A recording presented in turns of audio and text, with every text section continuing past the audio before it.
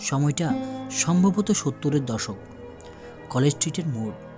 কিছু জরুরি বই কিনতে গেছেন কিংবদন্তি নায়ক উত্তম কুমারের ছোট ভাই, খ্যাতনামা অভিনেতা তরুণ কুমার।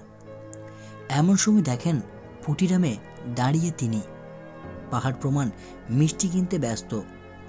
মুখোমুখি হতেই সেই অনাবিল হাসি। ঢাকায় তুপ ধেয়ে আসে, আরে বুড়া, যাস কই? তরুণবাবু বলেন, বই কিনতে। বই কিনবি? তা বেশ বেশ। তবে তার আগে আমার লগে চ। তরুণ কুমার দেখেন, ঘোর বিপদ। কিন্তু উপায় নেই। সিনিয়র আর্টিস্ট এবং অগ্রজ বলে কথা। একবার আমতা আমতা করে বলতে গেলেন, আসলে একটু কাজ ছিল যে।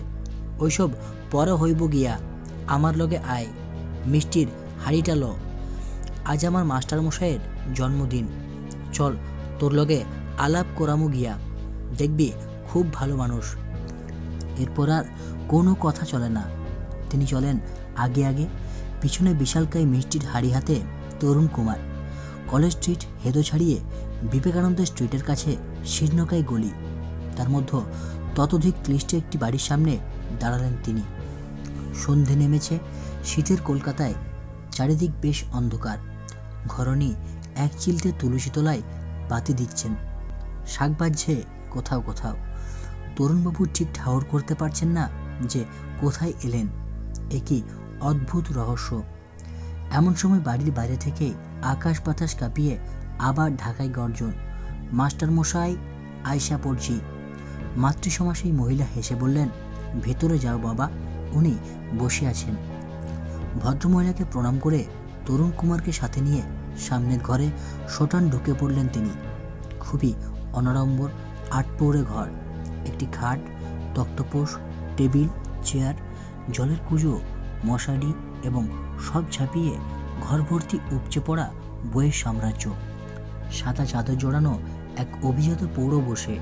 অন্ধকারে মুখ ভালো করে দেখতে পাচ্ছিলেন না তরুণবাবু।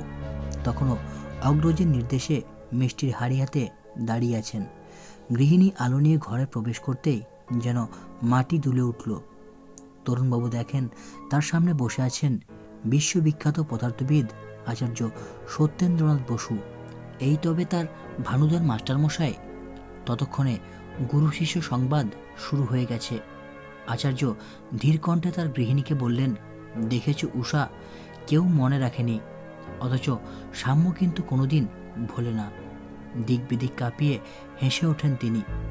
গুরুমাকে উদ্দেশ্য করে বলেন, মাসিমা মালপো খামু, আছে নাকি দুইখান?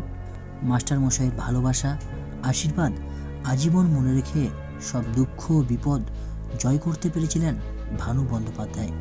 খুব কম লোকেই জানেন ভানু বন্দ্যোপাধ্যায়ের আসল নাম শ্যামময় বন্দ্যোপাধ্যায় এবং তিনি সত্যেন বসু পদার্থবিজ্ঞানের প্রিয় ছাত্রদের অন্যতম। এদিকে ভানু বন্দ্যোপাধ্যায় যে বিজ্ঞানী সত্যেন বসুর ছাত্র তা জেনে টালিগঞ্জ পাড়াতেও ভানুর দর বেশ বেড়ে যায়। ভানুকে তরুণ কুমার, শুভেন্দু চ্যাটার্জি, রঞ্জিত গুপ্ত এমন অনেকেই বলতেন, স্যার, সত্যেন বোসের বাড়ি নিয়ে যেতে। ওনাকে একবার চাক্ষুষ দেখে জীবন সার্থক করবেন বলে। যদিও ভানু সবার কথা রেখেছিলেন।